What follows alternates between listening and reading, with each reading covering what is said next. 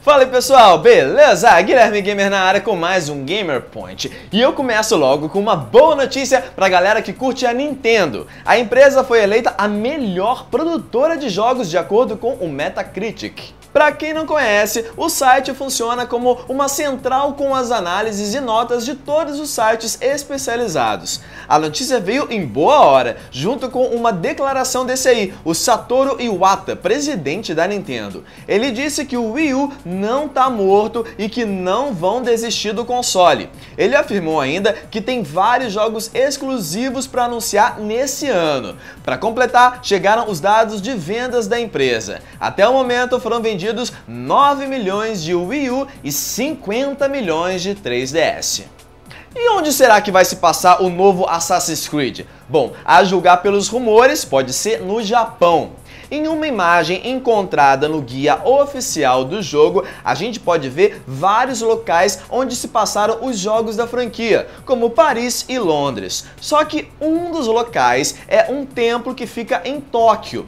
Como a gente não teve nenhum jogo da franquia no Japão, dá para concluir que essa é uma boa pista, né? Vamos aguardar por informações oficiais da Ubisoft.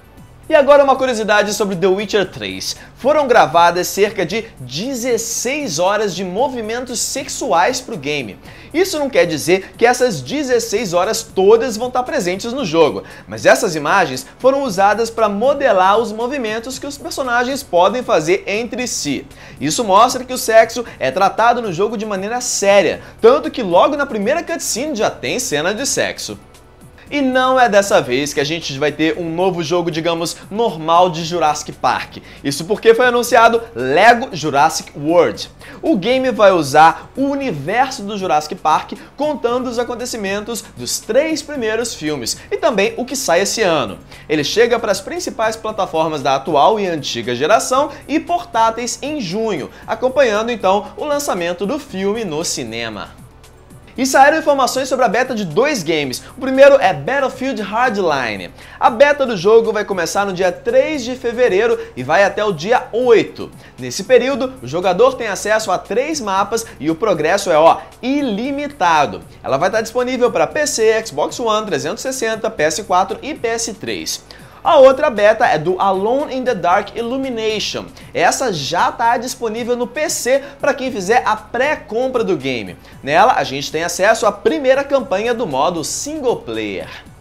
E a moda das microtransações dentro dos jogos está aparecendo em cada vez mais games, né? Agora é a vez do Resident Evil Revelations 2. Dentro do jogo é possível que o jogador gaste dinheiro real para continuar do ponto onde ele perdeu, mas isso apenas em um modo específico de desafio. Na campanha em si não vai ter venda de nada. Esse modo à parte é chamado de Raid Mode.